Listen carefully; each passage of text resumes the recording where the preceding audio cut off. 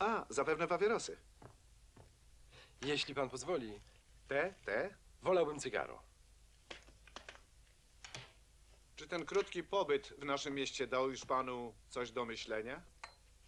Y, W pewnym sensie.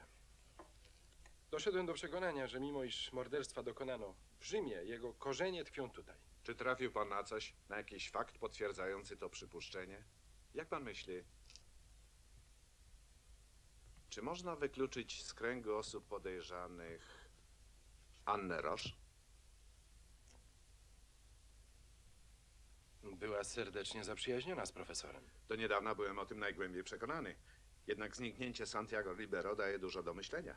Tak. Anna była zaskoczona jego zniknięciem tak samo jak i pan. Och, Maj. Przecież obaj doskonale wiemy, że kobiety są wspaniałymi aktorkami. Potrafią na zawołanie płakać, cieszyć się.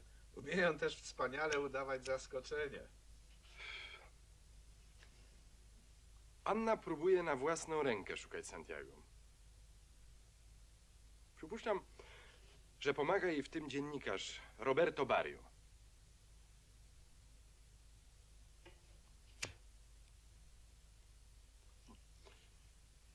Wydaje mi się, że zniknięcie Santiago ma jakiś związek ze śmiercią profesora.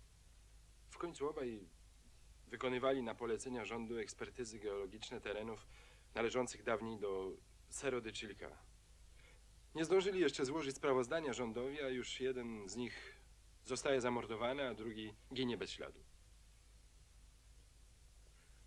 Gdybyśmy założyli, że dokonali jakichś odkryć, Nie dokonali.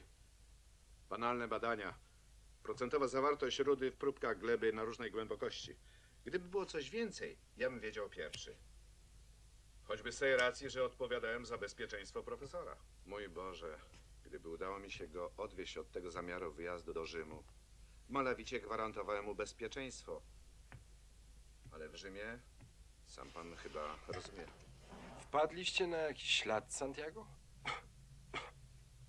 Ustaliliśmy ponad wszelką wątpliwość jego kontakty z osobnikami o poglądach radykalnych jeszcze z czasów studenckich.